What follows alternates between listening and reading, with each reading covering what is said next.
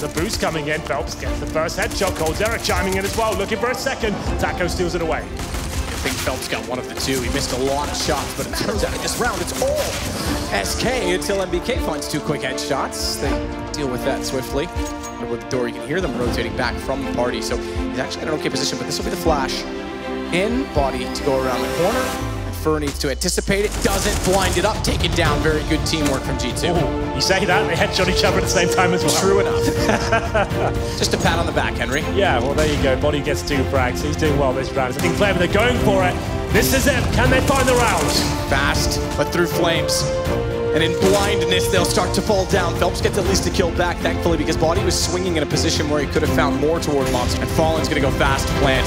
They've got to throw everything at it to keep, keep him alive in the post plant, to get the bomb down so they can't wrap around exactly that. As Taco goes down cold, can't do anything of it. He wants to swing, but apEX holding the angle. It's all on the Fallen on the site. Down he goes to shox and felps inside. It's only 17 HP, and that won't do. It's G2-0 over SK. They move in to the grand final. Very good performance there from G2 today. Clinical stuff.